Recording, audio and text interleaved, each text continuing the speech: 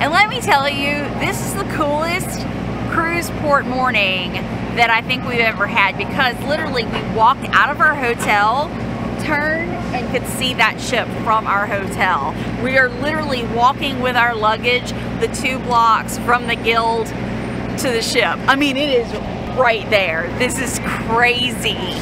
And so there's three ships in port today.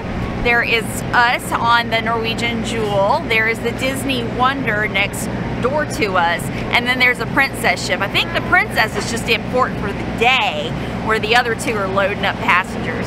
How cool would it be to come to San Diego as a, for, you know, for the day on a cruise port and walk off the ship and see this. Look at all these food vendors. Local food, any kind of food you want, right there. Ready?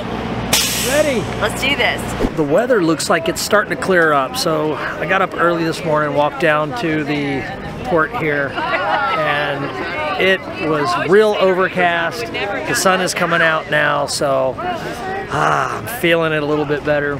I love the whole art of the Norwegian ships. The Jewel's looking pretty awesome over there. Can't wait to get on her.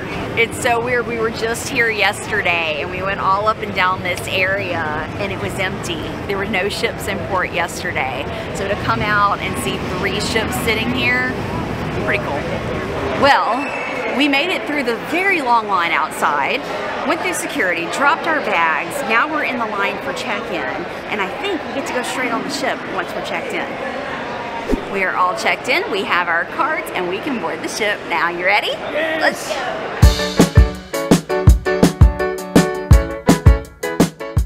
We made it on board the Norwegian Jewel. It's a beautiful day here in San Diego. Feels good to be back on board a ship. I'm hungry. I'm hungry too. Let's go eat. It is indeed a beautiful day to get on a ship, but isn't every day a beautiful day to get on a ship? But the sun is out now.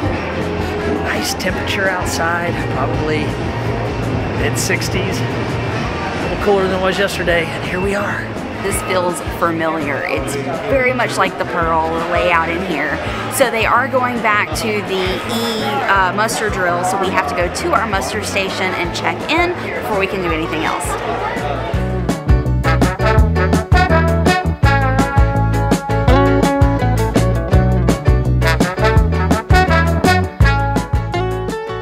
Just like that, muster is over. I love that.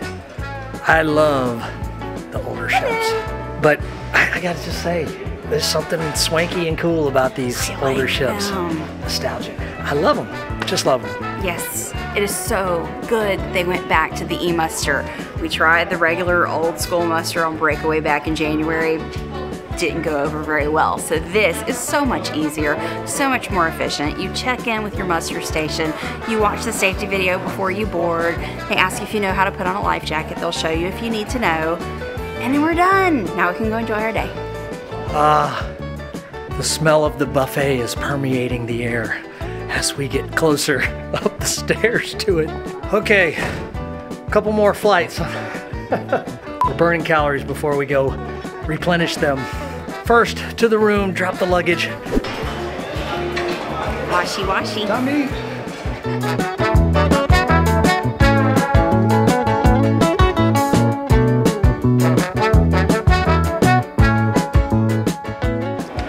Salad and a little sandwich.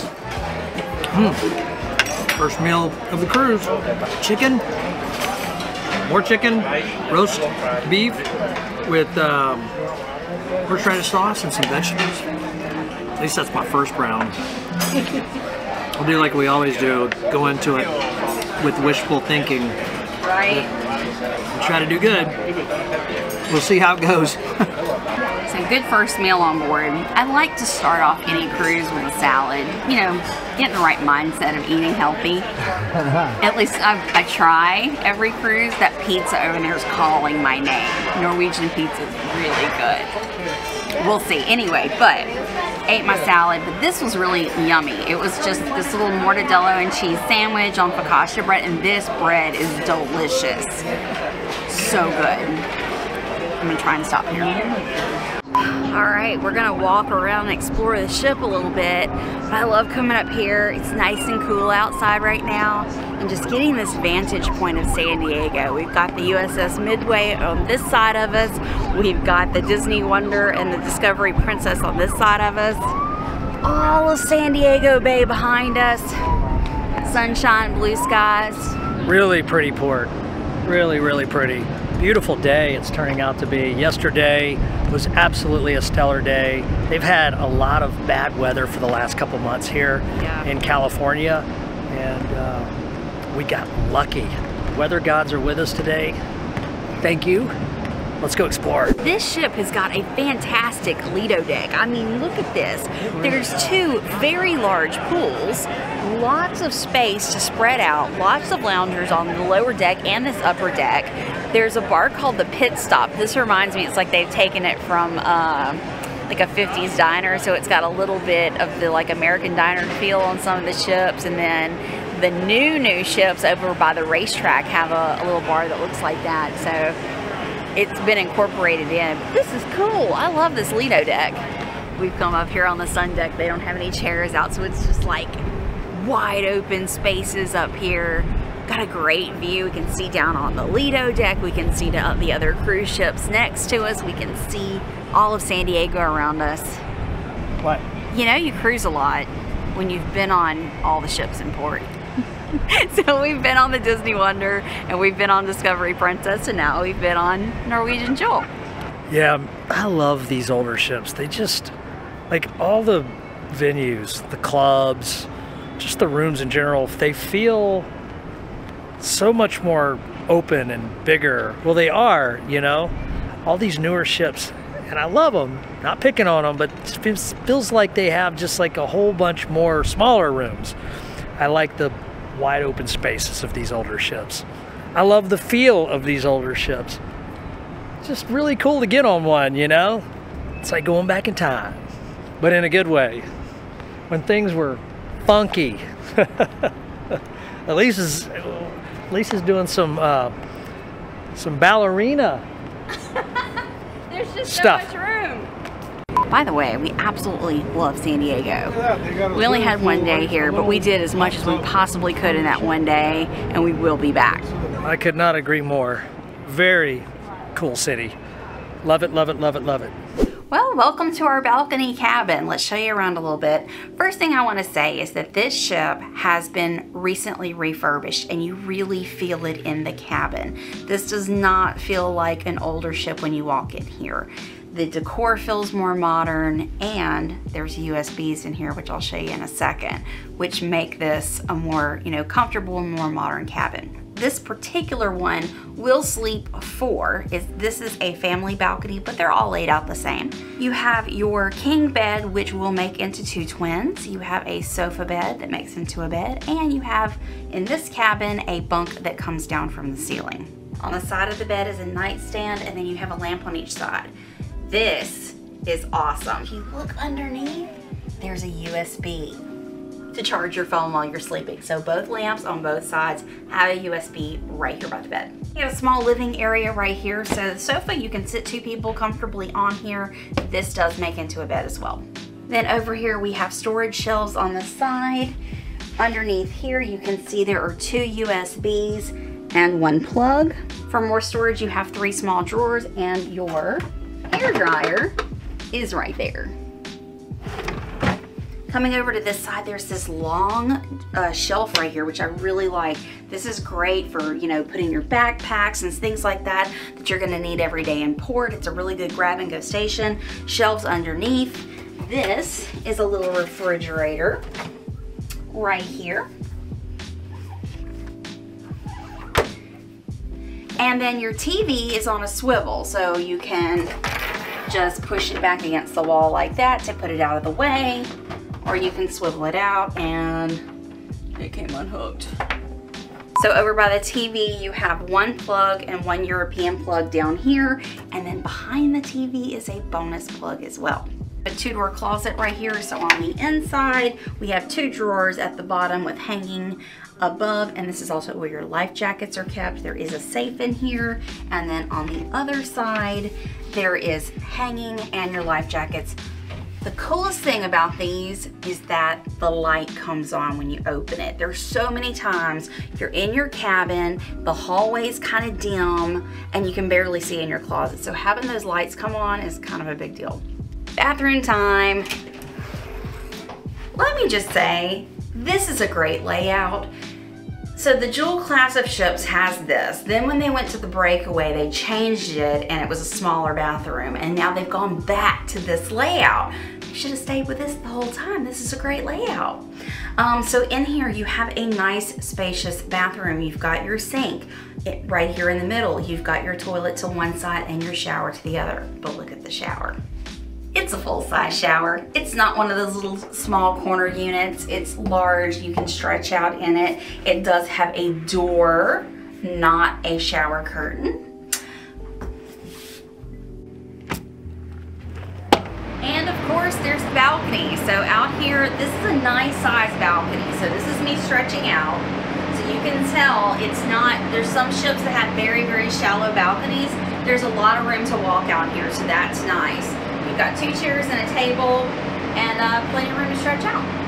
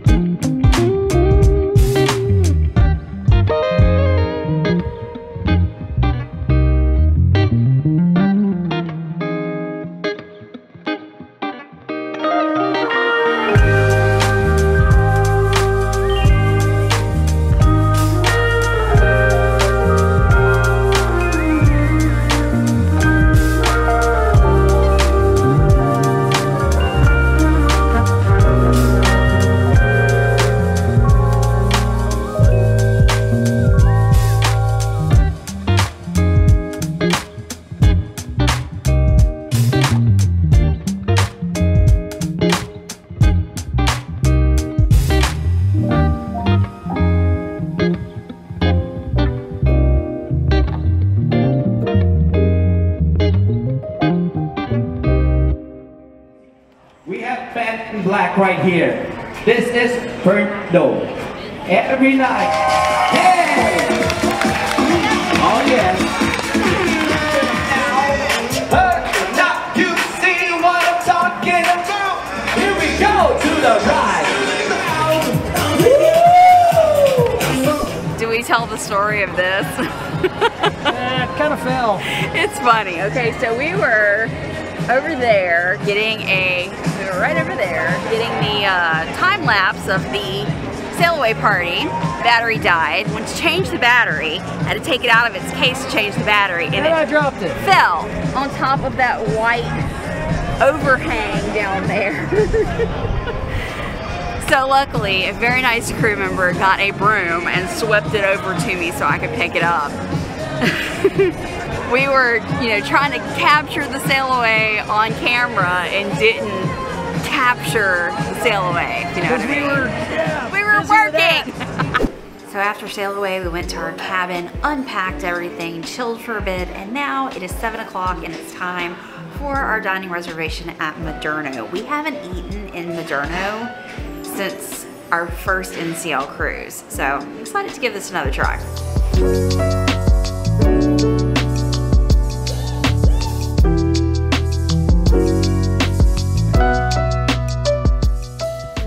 We are at Moderno Churrascaria. I think I said that right.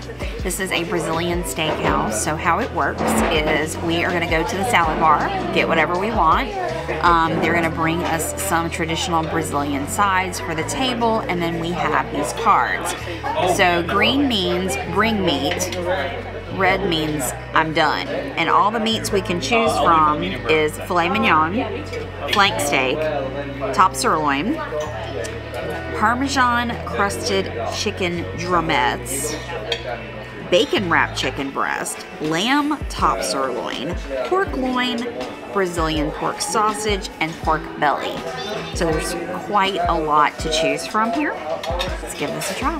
This is way more than a salad bar. So they do have salad, but then they have like big chunks of mozzarella, sun-dried tomatoes, all kinds of stuff down here.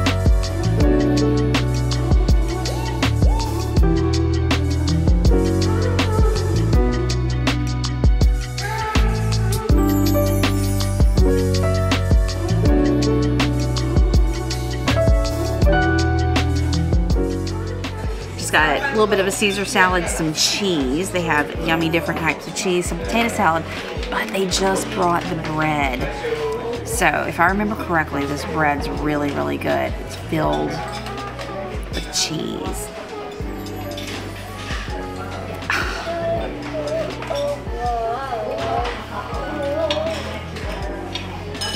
Yep, that's good.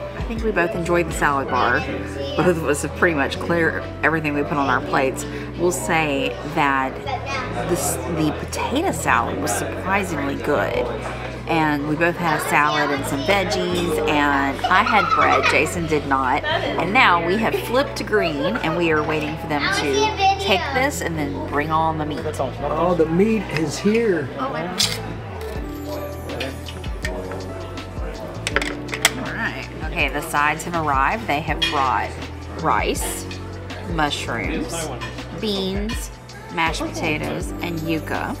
And the first big old stick of meats come around and they have filet mignon, which this is medium, so I got some medium. Jason is waiting for the medium rare to come.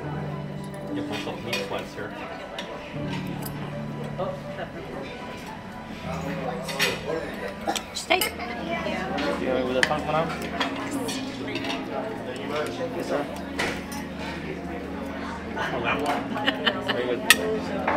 I got a piece of chicken.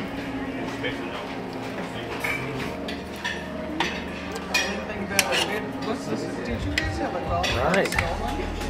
Got a, a little weenie. got my chicken. Got my little wiener. Let's try my little wiener. Is it hot? It's a hot wiener. it's a heart wiener. Very crunchy. Very crunchy. It's not a good wiener. I'm gonna try and catch it. There it goes. Oh. Thank you. Man here's cutting me another another piece because that first one wasn't quite medium rare enough. So thank you for that. Got a piece of the top sirloin that's medium rare. Oh, that's actually good. Mm. That's got good flavor. A little, little chewy. Like, very chewy. Really chewy. Okay, so the filet came.